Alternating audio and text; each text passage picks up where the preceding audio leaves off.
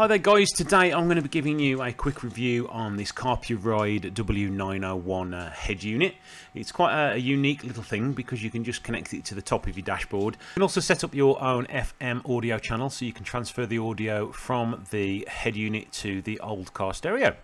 As well as some other options to uh, connect it to the car speakers. So let's have a look at the unit itself and go over the features you get and then let's test it out. Right, straight out of the box we have the head unit itself as it's on top. It comes in a protective cover, so it is well protected in the box there. Let's just fight it out of this protective cover. It's a high definition display so you can watch videos on it. You can also mirror link it so you can display the screen on your phone. The unit itself is actually pretty good quality. It's very lightweight, so hanging on that mount it won't cause any issues with too much vibrating and bouncing up and down. Power button, if you give it a long press it'll turn on and off, and a short press will mute it. Power, which is a DC 12 volts, 2.5 amp. A USB cam, so you can have a reverse camera fitted to it. You get an SD card slot, you get external mic port, which is 3.5mm jack.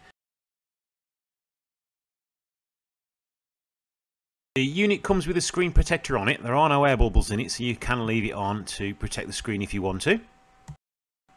In the box, you get a sticky mount, so you can attach it to a point on your dashboard more permanently. You know, it is quite adjustable. You can rotate it 360 degrees, you can fold it forwards, you can fold it backwards you get an adapter mount. So if you fix it somewhere inside your car, you can have a more permanent mount base for it.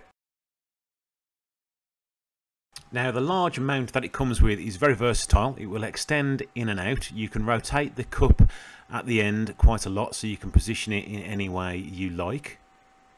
The back of the mount also rotates by 180 degrees. The suction cup is also very large, so it does support the unit very well and there's not much chance of it actually pulling it off the screen. Also comes with a phono cable to 3.5mm jack, so it could be connected to the back of a, a car stereo for example.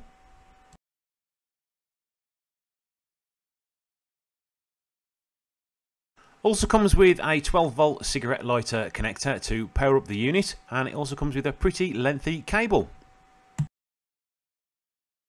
And the last item, other than the manual, which is uh, still in the box, is the phono to phono cable, which is probably the one you're going to use the most to connect to the car. So let's get this unit attached to the screen now and see how long it actually takes to set up. The suction cup stuck to the screen really easily. I didn't have to reapply it and it's still hanging there now a few days later without any issues whatsoever. Now I've just positioned this anywhere on the screen just for filming purposes. I would probably recommend you fit it low on the dashboard, sort of in the middle of the screen so it's easy to access and it's also uh, out of vision. So what features does it support? It supports Apple CarPlay which is wireless. It supports Android Auto. It supports AirPlay, so you can play YouTube videos and things like that directly on the unit.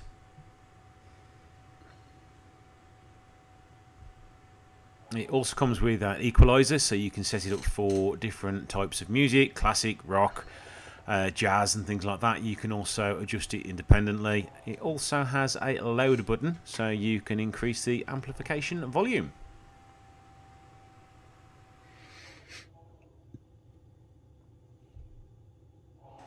Now, just looking in the Bluetooth settings, it's quite straightforward. Just click your device and you can get it to set up that way via your phone and the unit.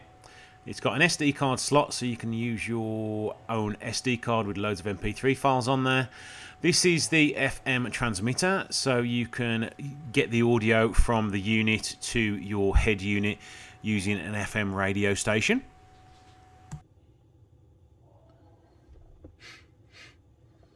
Let's just have a look through the rest of the settings. You can set the vehicle up so it's left hand or right hand drive. I would assume that would sort of move the volume buttons and things like that to the other sides of the screen. Here's all your settings for Android Auto and all your iPhone settings. You also can set up a rear view camera on this so you can add parking lines and all the different settings for that are here. Here is a test of the boot up time. It took probably 8 to 10 seconds, not long at all. Now I'm just going to test out the volume of the speakers in the unit itself.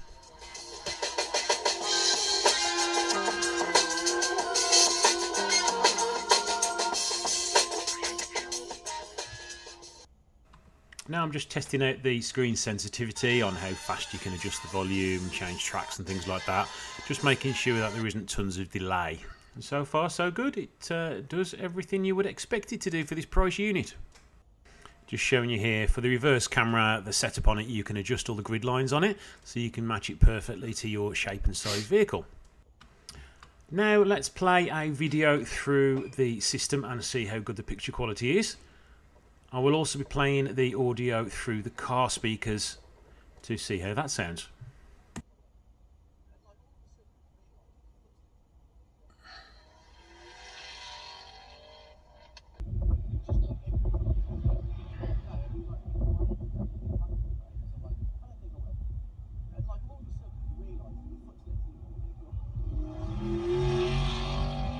So there you go, that's just a quick sort of out-the-box overview of this unit. It is actually quite good, and one of the main features I do like about this unit is the fact you don't have to have it in your dashboard. So if you want to have an original stereo inside your car, you can hook it up via the back and still only have this on at the dashboard when you're doing long journeys, when you want your sat-nav, when you want to use Apple CarPlay and things like that. So it does actually come in very handy indeed, and it's one unit that um, I will be using myself.